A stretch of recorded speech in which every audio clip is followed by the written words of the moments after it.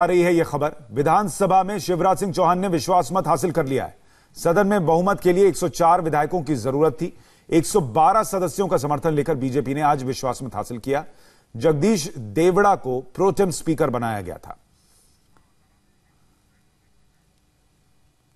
तो 112 विधायकों का समर्थन मिला है शिवराज सिंह चौहान की सरकार को और कांग्रेस के विधायक आए ही नहीं इस विश्वास मत में। यह जानकारी मिल रही है।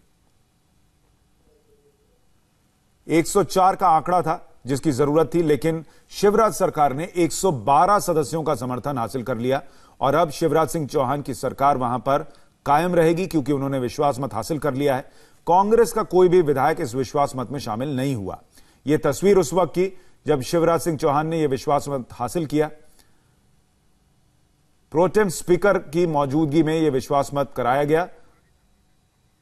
अच्छा यह पुरानी तस्वीर है। माफ़ी चाहूँगा यह पुरानी तस्वीर है। आज की तस्वीर नहीं है।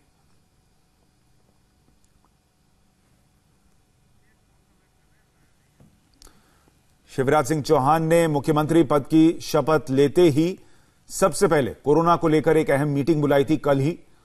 कल देर रात तक मीटिंग्स का दौर चला कि मध्य प्रदेश में कैसे कोरोना को हराना है और आज उन्होंने विश्वास मत हासिल कर लिया। चौथी बार मुख्यमंत्री बने हैं शिवराज सिंह चौहान।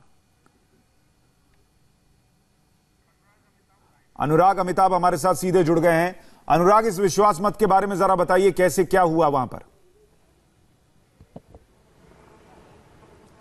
देखिए विश्वास मत आज पेश करना था। वैसे 26 तारीख तक के लिए सदन, जो है स्थगित की गई थी, लेकिन देर रात जो है, ये सदन जो बुलाया गया 26 26 तारीख की जगह 24 तारीख को, और स्पीकर थे जो एनपी प्रजापति, रात में चूँकि उन्होंने रेजिग्नेशन दे दिया था, इसलिए आज प्रोटेम स्पीकर नहीं, लेकिन सभापति तालिका के सबसे वरिष्ठ सदस्य होते हैं, जगदीश देवड़ा, पूर्व मंत्री भी हैं उनके नेतृत्व में ये पूरा विश्वास मत जो है, वो दिया गया। एक सौ चार का मैजिक फिगर जो था, चूँकि दो सौ तीस के सदन में दो सदस्यों की मृत्यु हो जाने के बाद, और चौबीस जो विधायक हैं, जो बीस, बाईस विधायक हैं उनकी सदस्यता रद्द हो जाने के बाद जो आंकड़ा तकरीबन जो 104 बन रहा था और बीजेपी के पास 160 विधायक थे। लेकिन बीजेपी की माने तो बीजेपी को दो निर्दलीय विधायकों का भी समर्थन मिला है और दो बीएसपी और एक सपा का। यानी तकरीबन 112 जो विधायक हैं उन्होंने समर्थन दिया है विश्वास मत में सरकार का साथ दिया है जबकि ज़रूरी जो आंकड़ा था मैजिक फिगर वो 104 था। इस तरीके से अगर देखा जाए तो शिवराज ने बहुमत का आंकड़ा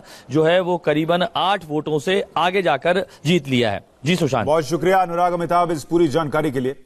उधर विश्वास मत हासिल कर लिया शिवराज सिंह चौहान।